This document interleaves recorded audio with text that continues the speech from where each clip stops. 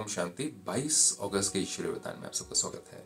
एक है टेंशन और एक है टेंशन हम चाहते हैं कि हमारी टेंशन ना हो, हमें टेंशन में रहना सीखना है।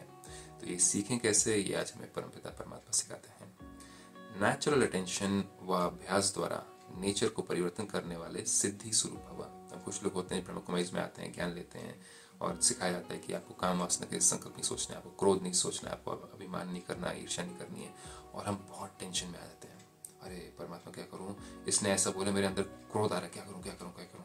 और हम टेंशन में आते हैं और जितना हम फोकस करते हैं कि मेरे अंदर क्रोध आ रहा है, उतना वो क्रोध बढ़ता जाता है। क्योंकि जहाँ पर अटेंशन जाता है, वहाँ पे एनर्जी फ्लो करती है हमारे संकल्पों की। So where attention goes energy flows तो परमात्मा कहते हैं, तुम इस पर क्यों फोकस करते हो? तुम्हें क्रोध आ रहा है, तुम्हें अभिमान आ रहा है, तुम्हें ईर्ष्या आ गई, आज तुम्हें घृणा आ गई, आज क्यों इतना फोकस करते हो? क्यों अपने आप को डिमीन करते हो? क्यों अपने आप को गिराते हो? क्यों अपने आप को अपने नज़र में छोटा समझते हो? तो वो अटेंशन देना है टेंशन नहीं देना है कि अरे मेरे को क्रोध आ गया, अरे क्या करूँ? क्रोध आता रहता है मेरे को। ये टेंशन नहीं देना है। परमात्मा कहते हैं अटेंशन देना क्या देना है? परमात्मा कहते हैं, आप सबके निजी संस्कार अटेंशन के हैं। स्कूल में भी क्या करते थे हम? अटेंशन अटेंशन में आते थे पीटी करते हुए, है ना? तो उसी तरीके से यहाँ पर भी क्या करना है, हमें अटेंशन देना अटेंशन किस पे देना है? उस समय हम अपने फ़िज़िकल फॉर्म पर अटेंशन देते थे कि हमें बिल्कुल सीधा खड़ा होना है, हाथ सीधे रख के खड़ा होना है। लेकिन अभी है सूक्ष्म फॉर्म पर अटेंशन तो मन में क्या चल रहा है? बुद्धि में क्या चल रहा है? किस क्वालिटी के संकल्प चल रहे हैं? व्यर्थ तो नहीं चल रहा है क्या होगा, कैसे होगा, ऐसा ना कर दे, वैसा ना कर दे। इन चीज़ों को हटाने का हमें अटेंशन देना है, ना कि टेंशन लेना है।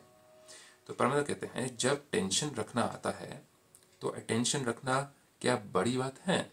अगर टेंशन रखना आता है तो फिर अटेंशन रखना कोई बड़ी बात है? कि देखो, इस समय किसी ने कुछ अगर कुछ बोला, किसी ने कुछ अपने तरीके से काम नहीं किया तो उस समय क्रोध आ रहा है तो उसको, उसकी तरफ़ अटेंशन दो। देखो, अपने आप को समझाओ। देखो, क्रोध करके कोई फ़ायदा नहीं है। किसी को आप परिवर्तन नहीं कर सकते हो। ड्रामा में जिसको जो पार्ट प्ले करना है, उसने पार्ट प्ले करना ही है। हमें उनको शुभ भावनाएँ देनी है, शुभकामनाएँ देनी है, लेकिन हमें प्यार से सिद्ध करना है, क्या राइट है, क्या रॉन्ग है। तो ये हो गया अटेंशन और अटेंशन होगा तो क्या होगा? गुस्सा आएगा। उसने को ऐसा बोला, और गुस्सा आएगा। उसने ऐसे कैसे कर दिया, और गुस्सा आएगा कि भैया, ये होना नहीं चाहिए था।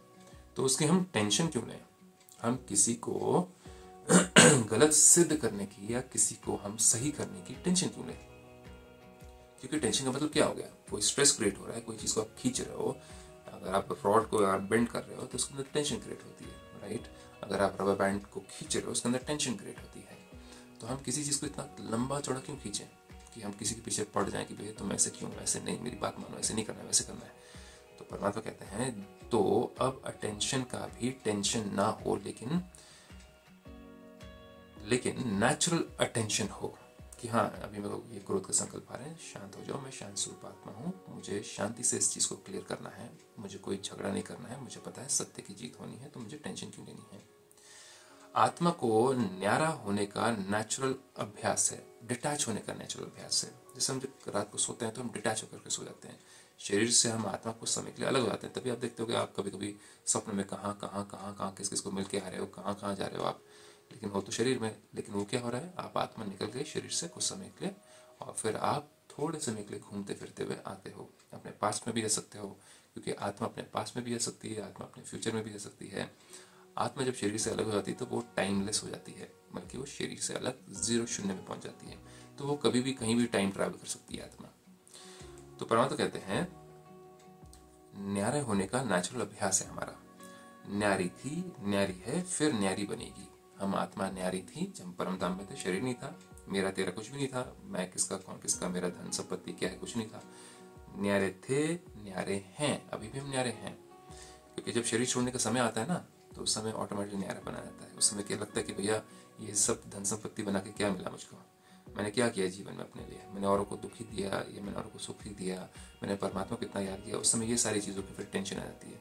तो इसलिए परमात्मा कहते हैं कि शरीर छोड़ने से पहले थोड़ा सा अटेंशन दो, ताकि लास्ट के समय में टेंशन ना आए कि हाय, मैंने भगवान को याद ही नहीं किया। मैं धन संपत्ति के पीछे भागता रह गया, रह गई। या मैं अपना सिर्फ़, बच्चों के पीछे भागता रह गया, रह गई। या अपने पति के पीछे, पत्नी के पीछे मोह में फंसा रह गया, रह गई। तो ये टेंशन ना हो, इसलिए अभी से ही अटेंशन देना शुरू कर दो। फिर हम न्यारे थे, न्यारे हैं और न्यारे बन के जाएँगे। हम डिटैच होकर के जाएँगे। जब शरीर छोड़ेंगे तो कहते हैं ना मोह मोह मर गई दुनिया। मैंने जब शरीर छोड़ा तो मर गई दुनिया। कौन पिता, कौन माँ बाप कौन बच्चे, कौन धन संपत्ति कौन कितना करोड़पति, कौन क्या, कितनी गाड़ियाँ, कितनी ज़मीन, क्या, सब ज़ीरो तो अभी से ही क्यों ना हम उस ज़ीरो फीलिंग में रहें कि मेरा कुछ भी नहीं है। कुछ लेके नहीं जाना मेरा कुछ भी नहीं है। तो जब मेरा कुछ भी नहीं है तो मुझे क्रोध क्यों आएगा? जब मेरा कुछ भी नहीं है तो मुझे अभिमान क्यों आएगा? जब मेरा कुछ भी नहीं है तो मुझे कौन याद आएगा? एग्जैक्टली परम पिता परमात्मा। तो जैसे अभी वाणी में आने का अभ्यास पक्का हो गया है है ना? अभी कितना आराम से हम बोल सकते हैं। बोलने का अभ्यास तो बहुत फटाफट है। फटाफट फटाफट किसी को सुना भी देते हैं। फटाफट फटाफट किसी को हम सीधा कर देते हैं। फटाफट फटाफट अपनी बात को रख देते हैं।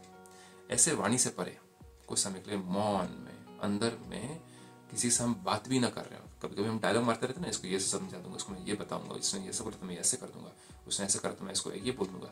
इसका भी मौन हो जाए, परमात्मा के साथ में बातें हों। तो उसको कहते हैं, वाणी से परे।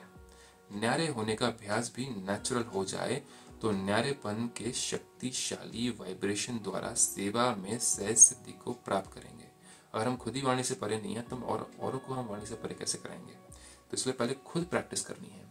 कि मैं कुछ समय के लिए वाणी से परे मतलब कि अंदर की वाणी से परे, अंदर बातचीत जो चलती रहती है, बच्चों के बारे में सोचना, पति के बारे में सोचना, पत्नी के बारे में सोचना, कामकाज के बारे में सोचना, घर के बारे में सोचना, धन के बारे में सोचना, इससे हम, इस वाणी जो अंदर की वाणी है, इससे परे हो जाना थोड़े समय के लिए।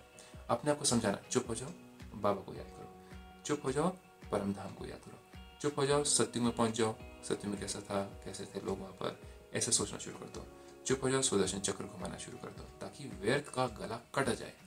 जो हम इतने समय से व्यर्थ की बातें सोच रहे हैं, उससे हम अपना अटेंशन अलग कर दें सत्य में ले जाए, द्वापर में ले जाए, त्रेता में ले जाए, कलयुग में ले जाए, कैसा होता है, क्या दुनिया है, फिर संगम में प्यार आ जाए हम।